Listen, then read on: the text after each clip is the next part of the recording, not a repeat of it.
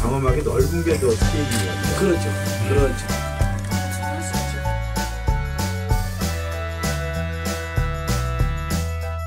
그래서 릴리 우리 안 터져요.